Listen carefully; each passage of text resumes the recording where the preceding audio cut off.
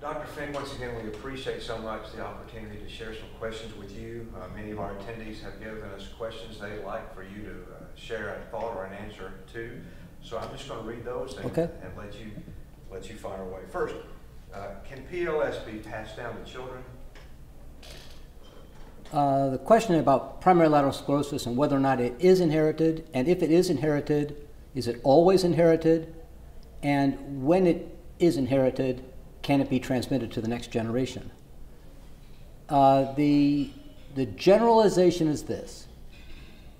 In general, it is extremely rare for primary lateral sclerosis to occur in families. Another way of saying that it is extremely rare that if a person has primary lateral sclerosis, it's extremely rare for their siblings to be affected or their children to be affected. That's extremely rare.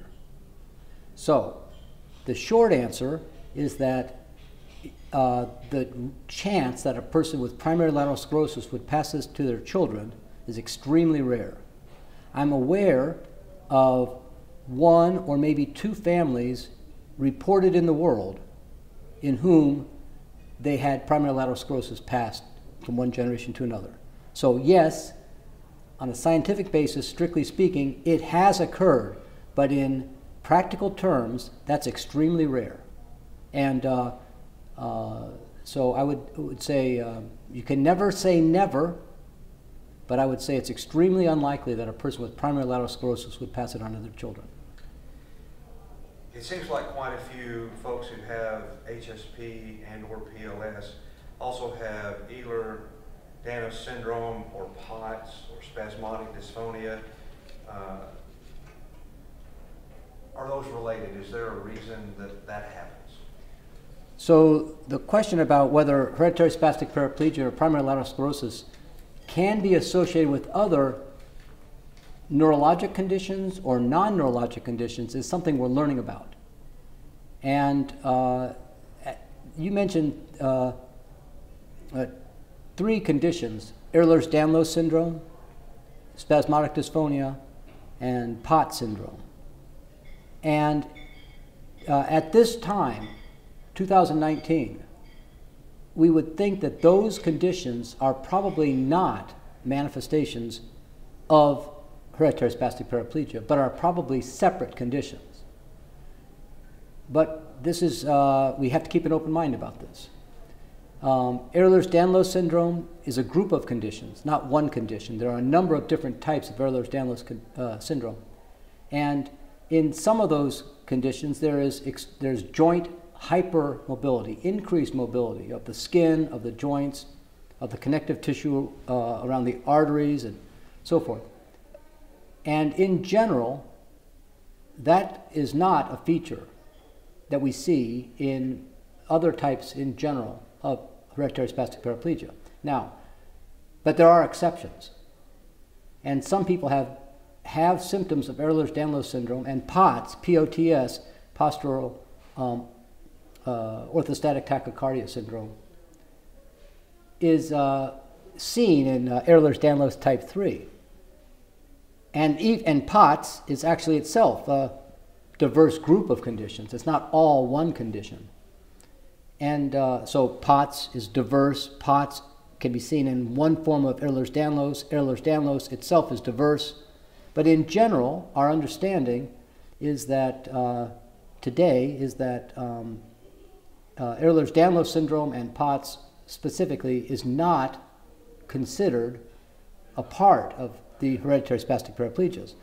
But I want to diverge from this for just a second because in POTS specifically, it can affect, it is a symptom that, uh, of the autonomic nervous system disturbance in, uh, in, in regulating the pulse and blood pressure. And some forms of hereditary spastic paraplegia involve the peripheral nervous system and can involve the autonomic nervous system.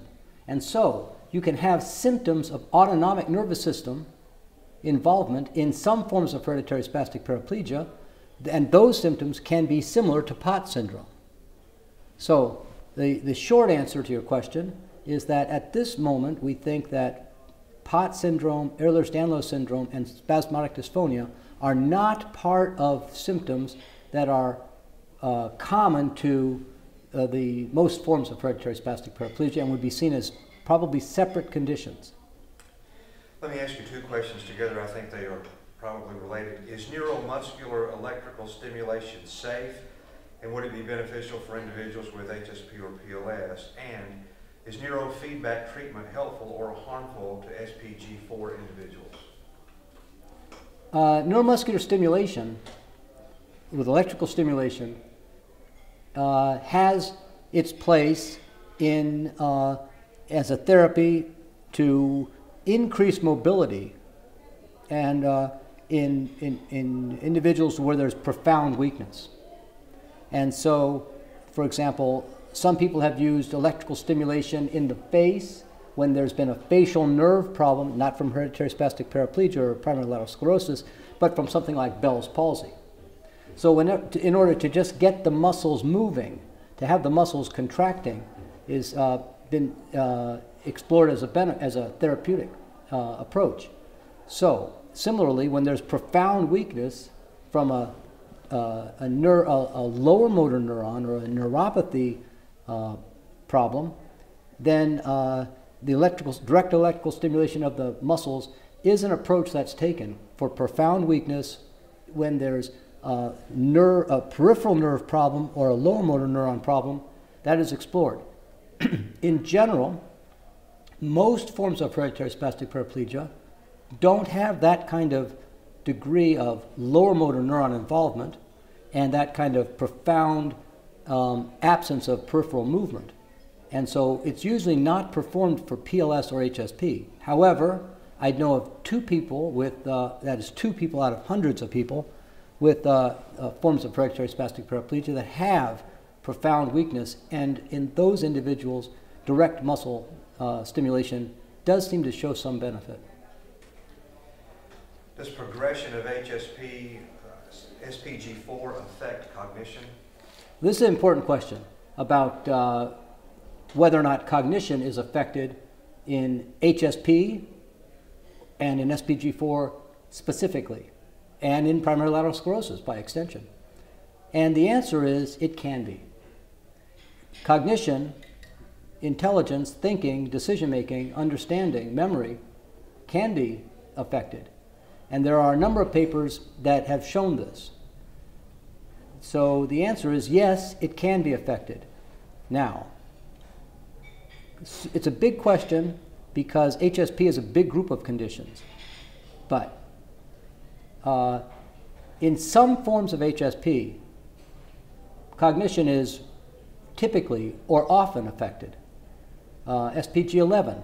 Not in every person, but often it does affect intelligence. Eventually, it, it causes dementia uh, in many people. And there are many other forms of HSP that are associated with intellectual disability in early childhood.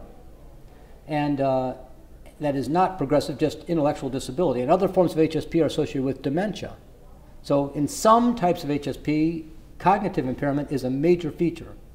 But your question is about SPG4, the most common dominant form of HSP. Is it associated with dementia? And the answer is it can be.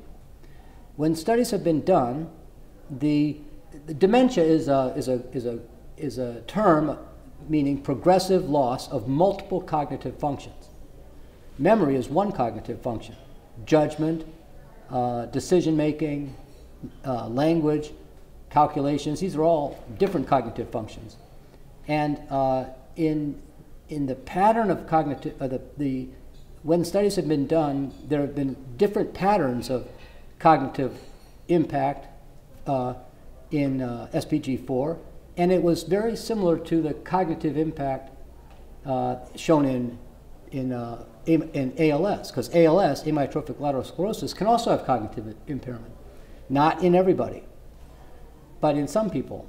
And some of the neuro, uh, uh, some of the studies of cognitive loss in SPG4 showed results that were similar to the kind of cognitive impairment in ALS, meaning that these two motor neuron disorders, when cognition was affected, tended to have similar kinds of of uh, uh, patterns of impairment.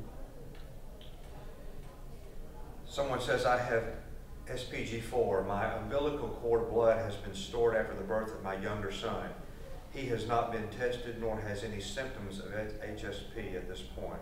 Is there, are there any benefits to continue storing uh, this umbilical cord blood?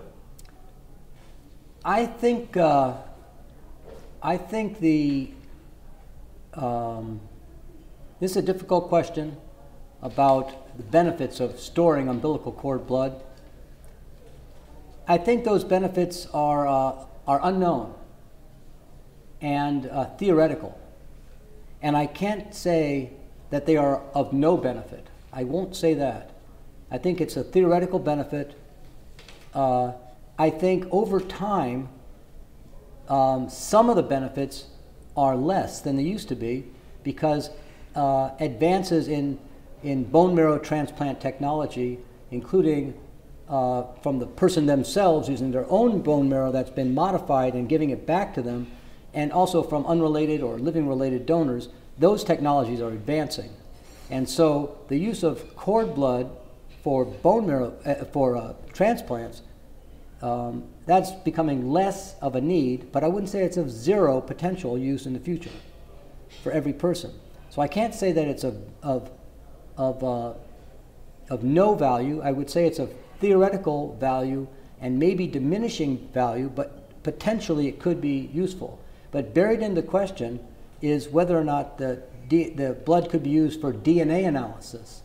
And uh, I don't think it would be necessary for that purpose, for to, to determine if the child were affected and so forth. I would say that that would not be would not serve that purpose. You can just do draw blood from the individual now and, and get the information you need. You wouldn't need to store cord blood for that purpose. But for potential transplant, it's a, it's a theoretical use in the future, and that uh, value of that is declining.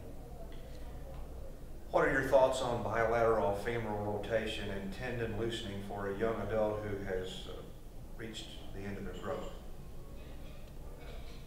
Well, uh, certainly surgery recommendations in hereditary spastic paraplegia or in primary lateral sclerosis have to be individualized. One recommendation, and they have to be considered very carefully and made only for that individual and for that limb so, uh, the procedure has to be individualized for the person and the specific um, problem and the specific outcome that is uh, desired. So, uh, I can't make a, a, a, generalization except to say one, get a second opinion, two, um, wait until after the growth spurt, after, you know, which is uh, in your question, that has been a, a, reached, and Three, um, we, we have to figure out what the problem is that we're trying to overcome. If it's tightness in the muscle, can that tightness be reduced by uh, direct injection of Botox? Has that been explored? Has it been explored adequately? What was the result of Botox? Um, is the problem pain? Can pain be reduced by orthotics something inserted into the shoe or a brace on the leg? Uh, is there another way, either through bracing or orthotics or through Botox, that can change the position of the foot and the knee um, to accomplish those objectives? How thoroughly have they been explored? Uh, and someone said, we tried Botox and didn't do anything. Well, what was the outcome of Botox? Uh, did it actually have a muscle relaxing effect? Uh, or do you need to try it again at a bigger dose in a different set of muscles, uh, so forth.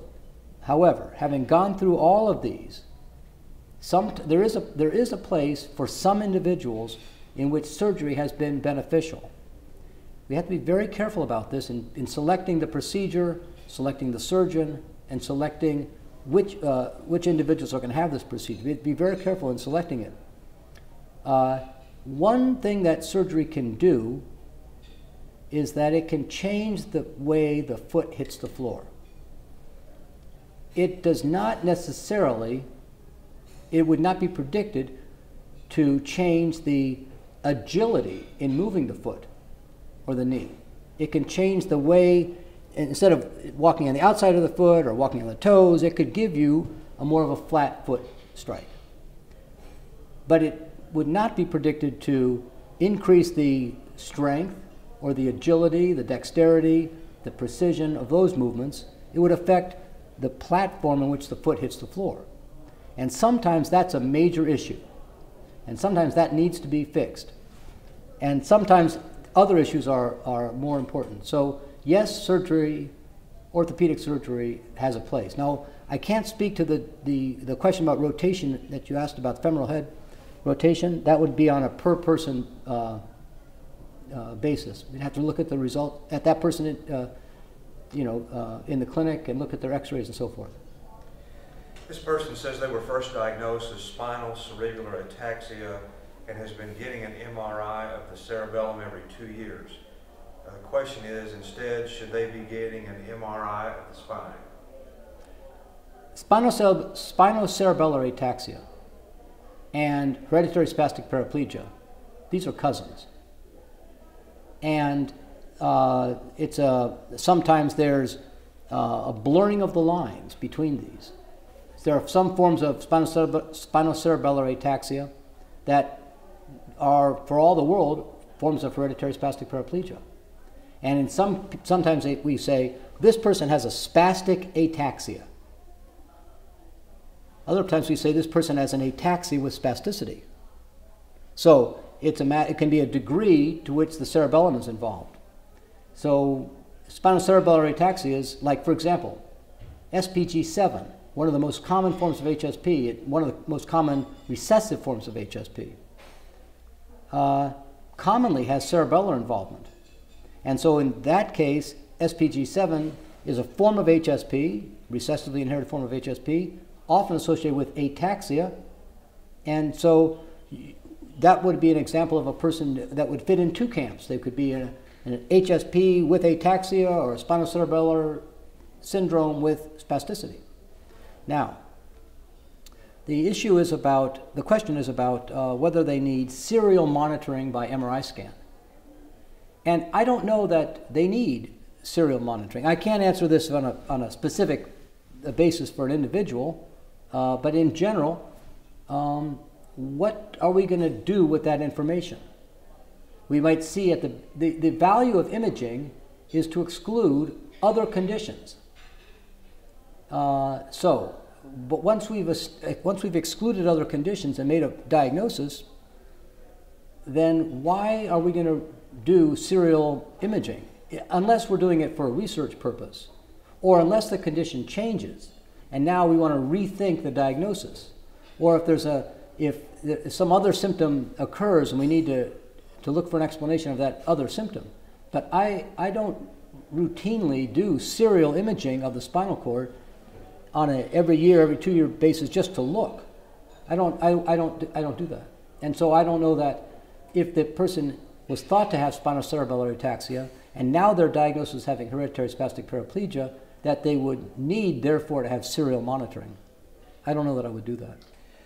Someone who is apparently taking baclofen uh, talks about the side effects and their sensitivity to it and asks, is there a better drug given that than baclofen, baclofen that they might be able to take?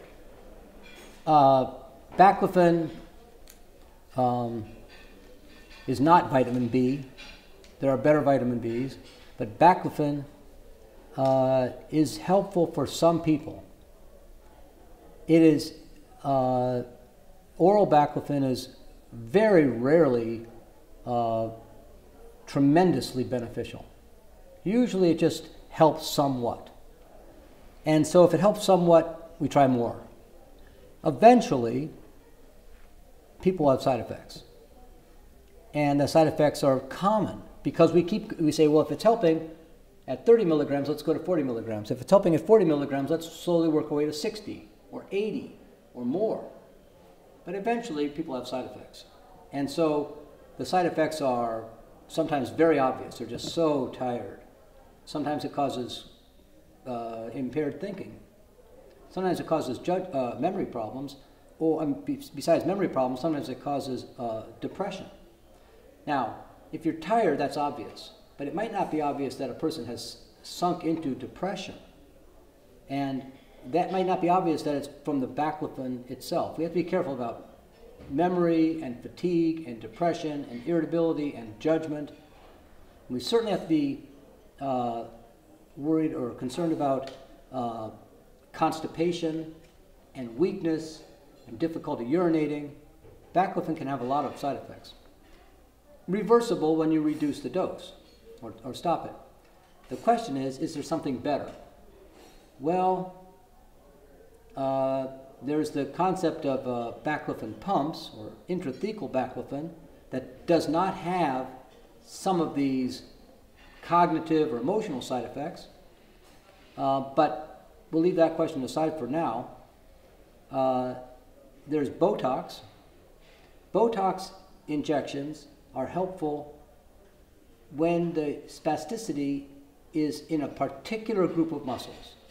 So, if the main problem walking is tightness in the ankles, well, I would go for Botox into the calves to treat that, uh, to try to target selected muscles. Or if it's the inner thigh muscles bringing the knees together, if they're particularly tight, I would try Botox there rather than large doses of uh, baclofen. Now, Another medicine that's often used is uh, tizanidine or Zanaflex. And uh, I haven't met a person who can take Zanaflex and not be tired. Zanaflex is, in general terms, uh, very, uh, maybe there are people, but it's very commonly sedating. And uh, so uh, we can't use the doses of Zanaflex that we can with baclofen because Baclofen is also sedating, but less sedating than, than uh, Zanaflex or tizanidine. Another medicine that uh, we use uh, uh sometimes is dantrium or dantrolene. And dantrium is a muscle relaxant that works more directly on the muscles themselves. Uh, it does not have the side effects of sedation or any memory problems. So but the problem with dantrium is that at high doses, it has caused very serious liver disease. And so uh, uh, it, it is a, uh, an effective old school medicine for muscle to cause, uh, uh, to treat muscle spasticity. But at high doses, it has caused very severe liver disease. And so it, we do use it I use it. I've used it for 30 years, uh, and I use. I have, uh, thankfully, not had problems with it. However, we check the liver enzymes before prescribing uh, Dantrium. We check the liver enzymes every two weeks for the first few months, then every four weeks, then every 12 weeks. We're checking liver every 8 to 12 weeks for the duration of the use of the, of the medicine we check the liver again anytime any new medicine is, is, is uh, started, because maybe there's a combined effect that would affect the liver. And we, I don't go to the high doses of Dantrium. Above 400 milligrams, people have had side effects. I only go to 300. I try to stay at 200. So I'm not getting the full benefit from Dantrium, but I think I can use it safely long term. At monitoring and lower doses. And uh, so, but we have a baclofen, Zanaflex, Botox, Dantrium. People have talked about uh, uh, CBD and uh, uh, medical marijuana for spasticity, and uh, it has shown benefit. And in general terms, um, I think its degree of benefit is somewhat less than baclofen. It, it does have benefit, but I, I would say baclofen is a more powerful medicine than uh, medical marijuana. And, uh, um, but there are, I've seen results, not in my patients, but in other, other clinicians' patients, um, that have shown benefit. And it can be an adjunctive medicine for some people. A couple of different questions about uh, circumstances where HSP patients uh, what fear, stress, nervousness, asking how does that affect uh, their mobility issues and how often do you see that? Uh, well, uh, um, uh, spasticity is a very dynamic feature. Muscle tightness is very dynamic, meaning uh, it's changeable throughout the day, throughout the week, depending on how much sleep you got, how rested you are, uh, how uh, anxious a person is, how relaxed they are, how fatigued they are, whether they're in pain. It changes all the time, all these factors. Um, if a person is anxious, definitely worsens their spasticity. Uh, and uh, if a person, sometimes uh, if a person's in pain, their spasticity will be worse. So if they have back pain, that can worsen their spasticity. If they're not sleeping at night, their spasticity can be worse. Uh, so stress, lack of sleep, pain, uh, anxiety, all of these things worsen spasticity. And I didn't mention one that's so common, and that is uh, cold. Cold temperature can worsen spasticity. So spasticity, I would say it's uni- universal. You said how common, the question was how commonly or how often do we see emotional factors or stress or fatigue or anger, uh, so forth, do they, uh, or sadness, do they worsen spasticity and it's in every person? Doctor, do you have any particular dietary recommendations that might make uh, someone dealing with PLS or HSP better? I, about the diet and nutritional treatments, I don't have recommendations for HSP and PLS, and uh, this is something where where we need to we need to learn more about this. In general terms, we would say I would say uh, a well balanced diet that uh, with uh, plenty of vitamins naturally occurring in the foods, diverse foods, uh, just a well balanced, healthy diet. I don't have, and I would also think it's reasonable to take, to, to have a diet that's rich in antioxidant vitamins. And sometimes we, we would even supplement that with, with, with antioxidant vitamins, vitamin C, vitamin E, sometimes taking coenzyme Q10. These are of unproven value. So I, I, I want to be very careful to say that I don't have a recommendation that they will help, but it's reasonable to use, uh, to have a diet that's rich in antioxidants and maybe even take uh, vitamin supplements of, of uh, vitamin uh, E and coenzyme Q10 uh, at not megadose, and vitamin C, not megadose, but just uh, one, once a day, because one of the factors that affects axon degeneration one of many factors that affect the, nerve degeneration is uh, oxidative damage. And it, it's a stretch to say, or a leap to say, taking more of these supplements would stop or reduce that. I don't know that as, I don't know that at all scientifically. But uh, in general terms, for individuals with uh, degenerative conditions of all kinds, uh, people have recommended antioxidants and sometimes supplements with, uh, with these vitamins. Does bowel incontinence affect everyone with HSP and does it come on gradually or all of a sudden? Uh, bowel incontinence is not common in HSP. Um, urinary urgency is almost universal. Occasionally, it's the first symptom, but uh, uh, the uh, uh, difficulty controlling the urge to urinate is extremely common. Sometimes, but much less frequently, difficulty controlling the urge to defecate, to have a bowel movement. That can be that can occur in HSP and PLS as well. But um, incontinence is uh, bowel incontinence. That's a uh, th- that needs to be um, investigated more specifically. Spe- uh, what I mean is, is, if it's diarrhea, well, uh, diarrhea can make bowel urgency um, worse, to, more difficult to contain.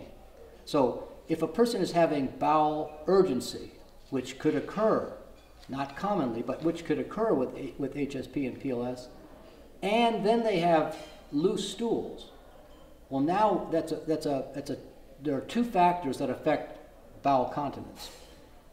Diarrhea or loose stools is usually not feature of HSP and PLS. So bowel urgency can be a feature of HSP and PLS. Not commonly, but can be. But the consistency of the stool is usually not, a fact, not affected. That is, diarrhea or loose stools is usually not affected in HSP and PLS. So, my answer is this. If someone says they have bowel urgency, when they have to have a bowel movement, they have to go right now. That could be part of HSP or PLS. However, they talk about having um, eight or ten stools a day of loose consistency, I would think we have a gastrointestinal motility issue or a dietary content issue, and they should see a gastroenterologist. Can or should a person with HSP be an organ donor? People with HSP and PLS can certainly be organ donors. This condition is not transmitted. Neither, none of these conditions, HSP and PLS, certainly not transmitted um, uh, through organ donation. Are there any alternative treatments uh, that have been successful uh, in helping, uh, such as acupuncture? Oh, absolutely. Acupuncture has uh, definitely shown benefit in reducing pain and, in some experienced hands, in uh, reducing spasticity. The uh, issue with, with acupuncture, like the issue with all therapies, is you have to find um, some, it has to be uh, individualized for the person, and uh, and in the case of acupuncture, done by an experienced provider. And uh, but there are certainly uh, there are reports of benefit from in terms of spasticity reduction in some but not all people uh, with acupuncture. So acupuncture would be one therapy like all therapies that help some people and don't help other people and help some of the symptoms in some people specifically and don't treat other symptoms and, and, and so forth. So yeah, acupuncture is, is, uh, is sometimes useful. Two questions about uh, stem cell therapy, and let me read them both, and maybe you can uh, deal with both. What is the current success and availability of stem cell therapy for HSP? And then a specific, my younger sister, who also has SPG4 received stem cell therapy less than a month ago. It was inhaled. One day shortly after all her symptoms disappeared, but returned the next day. What are the chances of them disappearing for a much longer period of time, and what are the dangers? Um, stem cell therapy in HSP is uh, at the research level. It uh, certainly not at the therapeutic level, at the clinically proven value and clinically available level. It's a concept that's being explored in research settings. So the availability, these are, are stem cells. Now, one thing that is available uh, in various parts of the world are um, operators and institutions that are offering sham therapies and that are not stem cells. And uh, there are offshore corporations and, and so forth uh, that are not licensed in the United States that people can, who are very uh, vulnerable to these sham, um, uh, non therapeutic, uh, um, what is being touted as stem cells but really aren't stem cells. Uh, there are people that are vulnerable to this and, uh, and so we have to be very careful about that. But in the United States, um, and in, in uh, Europe, Asia, so forth, uh, use of stem cells in HSP is being, and in ALS specifically, is being explored. And uh, it, it, these are at the research level, not at the clinic, uh, not of demonstrated clinical utility, and uh, and maybe they'll help some symptoms. Maybe they'll help, uh, but but they're not ready yet. Um, now, uh, the other question is about the transient benefit of inhaled stem cells. I would have to just, um, I, I'm not sure what they're referring to, and I'm, I'm very skeptical of that.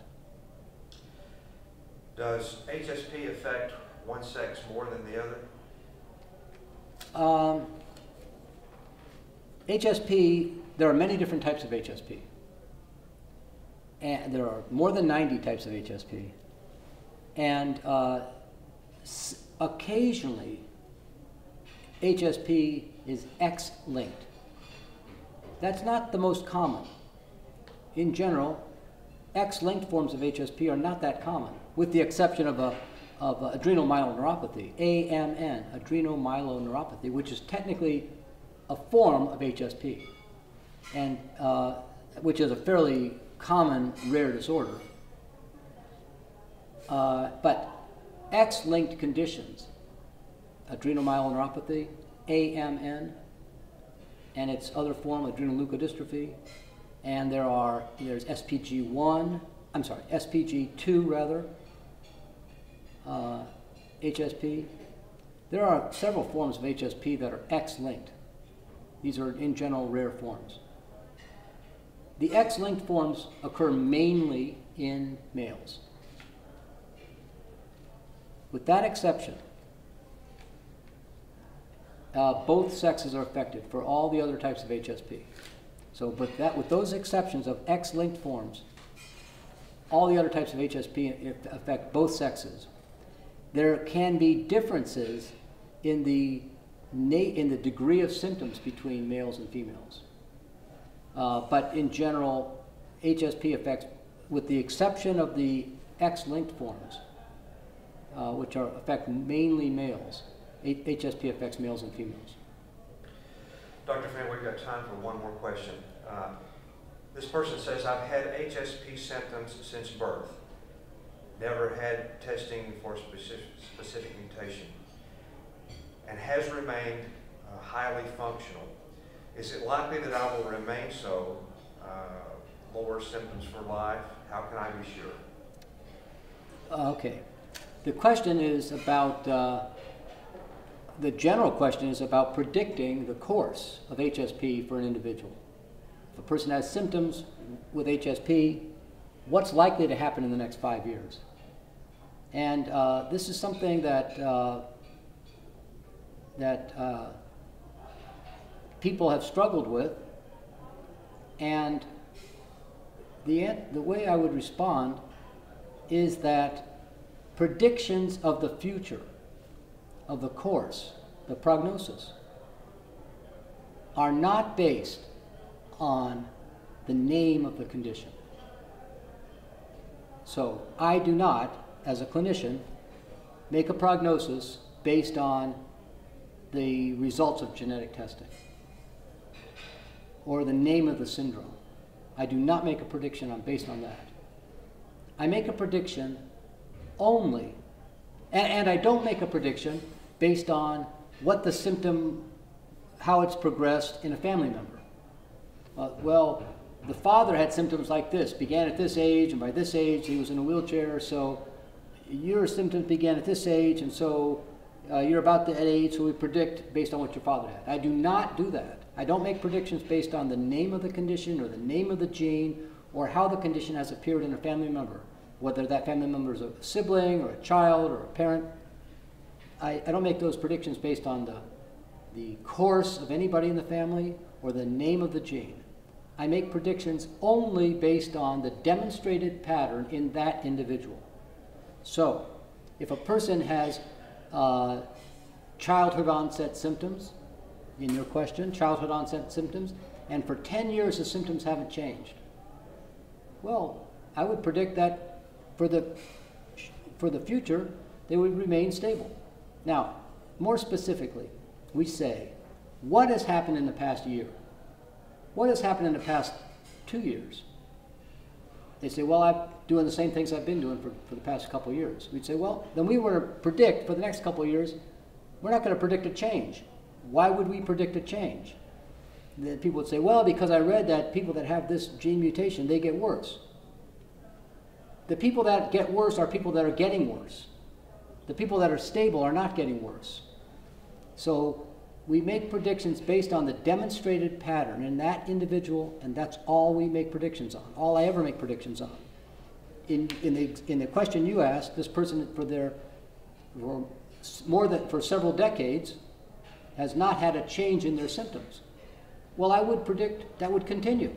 I would predict 30 years of non-progressive symptoms will remain non-progressive, with one exception tightness, that is spasticity, if it's untreated, will get worse. And sometimes, even if it's treated, it gets worse. So the condition might not change, but the symptom of spasticity can be relentless. So, if a person has tightness in their legs and they don't actively stretch or actively work with, with medications or to, to, uh, uh, to get full range of motion, those legs can get tighter and tighter and tighter, and especially for childhood onset conditions, they can be associated with contractures. Now, contractures are tendon shortening, it's not muscle tightness. And tendon shortening uh, is not overcome by muscle relaxing medicine because the tendons are now shorter. So, the point is, is that the condition might not change, but spasticity can be relentless. And so advancing spasticity can worsen uh, walking ability. So the condition could be stable, that's wonderful, but all effort needs to be directed at keeping full range of motion and keeping the spasticity at bay, making sure that that symptom of the condition doesn't advance. Dr. Fink, once again, we appreciate your work with the foundation and your time here to answer some questions. Happy to do it. We will see you again. Okay, thank you very much.